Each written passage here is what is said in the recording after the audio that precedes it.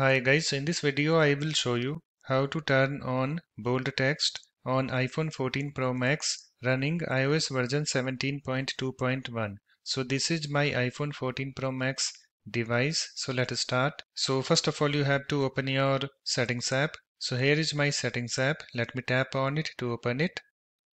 You can see it's opened and also let me show you guys first that I have iOS version 17.2.1 installed on my iPhone 14 Pro Max okay? So let me tap on general and then let me tap on about. And you can see guys I have iOS version 17.2.1 installed on my iPhone 14 Pro Max okay? So let me go back. Let me go back again.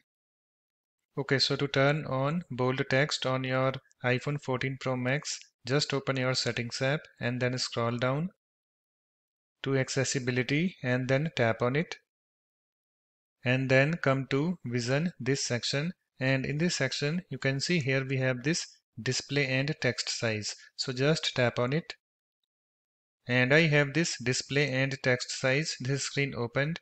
And on the screen you can see here we have this bold text. So to turn on it you have to turn on this toggle button next to it. So to turn on this toggle button just tap on it so that this slider moves to the right. So let me show you. Let me tap on it. And you can see guys it's now turned on. So once it's turned on it will be applied throughout the system. You can see in settings app okay. And if I go to my home screen you can see okay. So that's it. After you're done you can go back go back again and close your settings app so thanks for watching. In this way you can easily turn on bold text on iPhone 14 Pro Max running iOS version 17.2.1. If you like my videos, please support this channel by subscribing to it. Thanks. Bye bye.